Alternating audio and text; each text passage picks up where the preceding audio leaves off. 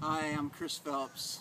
Thank you for taking a moment to check this uh, video out and this website here, which is my fundraising website. This is part two.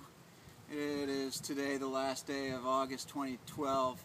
And I'm doing part two on this fundraising site uh, because I am still in need of uh, financial assistance to take care of some treatments. Um, one year ago, I was diagnosed with a stage 4 colon cancer and I have been pursuing alternative treatments since the doctor said that my condition was terminal.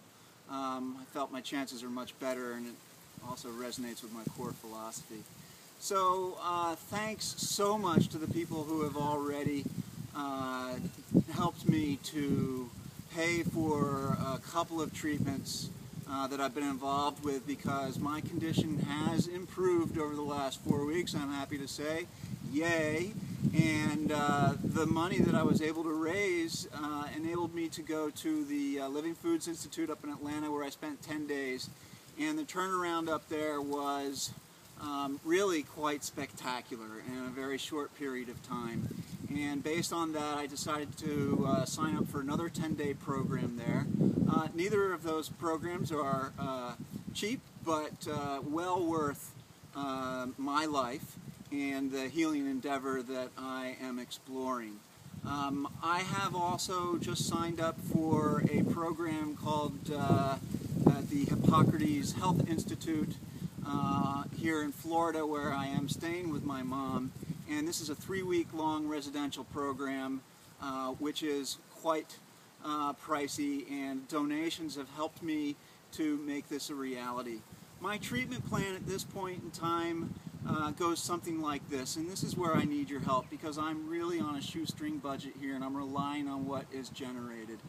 Um, it goes like this. I'm planning on finishing the Hippocrates three-week uh, treatment program here by the end of August. And uh, I want to go back to my home Berkeley, California. I would like to be able to get myself a place to live. I would like to be able to put together my uh, healing um, practitioner treatment program that I had in place before I left. And uh, eventually I want to start back at work part-time. I have done calculations based on what that's going to look like for the next year and uh, I'm looking at wanting to raise another uh, $60,000 which sounds like a lot I know. But this is what I need and I believe absolutely that I'm on the path to uh, complete healing. And um, this is really exciting and I know I'm standing on a lot of shoulders here that are that are helping me to do this in a lot of ways. And there are an incredible amount of people that are praying for me who do not have the resources financially to help out. I'd like to ask uh, for a little bit more in the way of financing and I would ask also that maybe uh, more than a few out of you out there could actually go an extra mile and do some sort of fundraising uh, campaign yourselves where maybe you're able to generate a thousand dollars through contributors of some sort. Now I think this is a really brilliant idea and my friend Aaron who I'm going to post details on has decided to run an ultra marathon and there will be a link on this web page of what he's doing and how he's raising funds to help me out in this cause through this incredible endeavor that he's taking on. And so these sorts of things I think can really help to um, reach the goal that I'm working towards. I would really like to keep you all up to date on what's happening. Um, I am a member of uh, something called Lotsa Helping Hands. It's a web page. You can sign up to become a member there through Team Phelps, make a request, and you will get regular updates.